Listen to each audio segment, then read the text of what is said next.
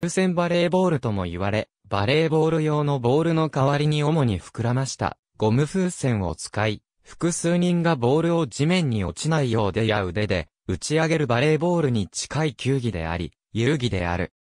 1986年に石川県七尾市の障害者支援施設、青山綾公園の作業療法士を中心に考案され、日本初の風船バレーボール大会が開催される。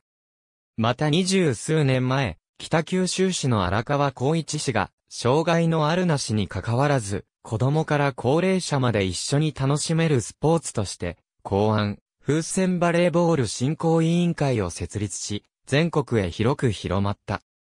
本質的には、紙風船付きやゴム風船打ちなどの自然発生的な遊戯の発展系とも言えるニュースポーツ球技であるが、1986年に石川県七尾市の障害者支援施設、青山綾公園の作業療法士を中心に考案され競技として確立した。重度の障害があっても、その障害を乗り越え共通の楽しみと安全な競技を、との願いを込め、1987年11月1日に、青山綾公園で日本初の第1回風船バレーボール大会が開催された。1991年に開催の石川国体併設第27回全国身体障害者スポーツ大会協賛事業として第5回大会を開催し、風船バレーボールを全国に向けアピールを行う。また1990年には講師や北九州市で大会が行われている。近年では老若男女を問わず参加できる球技として、日本では全国各地で球技大会も行われるようになった。また単純明快なルールながら、新商者や車椅子の利用者にも楽しめ、顔などに弾が直撃しても、怪我などの心配がなく、バリアフリー性のある適度なスポーツであることから、老人ホームやデイケアセンターなどでのリハビリテーションやレクリエーションに用いられることが多い。球技大会では、バドミントンコートを使用し、基本的に中に鈴を入れた、長径30から50センチメートルのゴム風船をボールとする6人制の球技だが、バレーボールと違い、風船が割れた場合のルールや、チームの全員が必ず一度はボールに触れなければ、相手のコートにボールを返せないなどの独特のルールがある。日本国内に複数の球技の普及を推進する団体があるが、全国一律のルールは策定されているわけではない。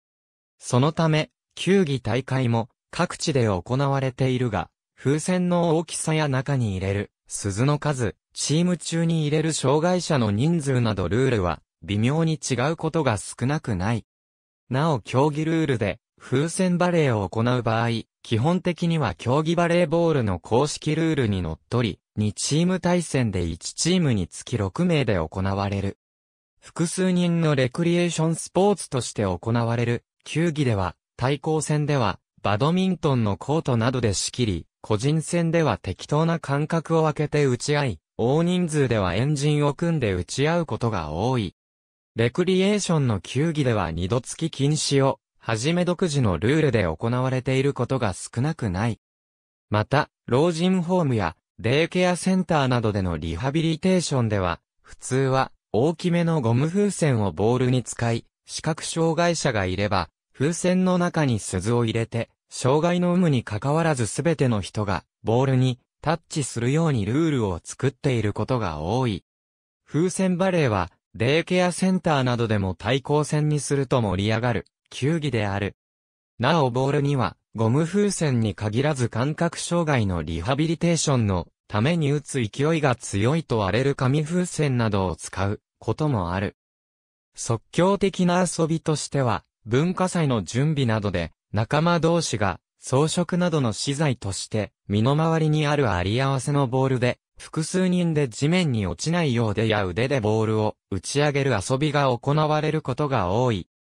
風船バレーに使うゴム風船はゴム膜が厚めで、かつ弾力性があり、比較的丈夫なものを使うことが望ましいが、購入前に選定することは素人には容易ではない。そのため、風船バレー用の風船も市販されている。しかし、ゴム風船は割れるものであるため、試合の前に、試合の妨げになるものを片付け清掃し、場合によっては怪我の防止のため爪を伸ばしすぎないことも必要である。爪切りは介護上の医療行為となる場合がある。ありがとうございます。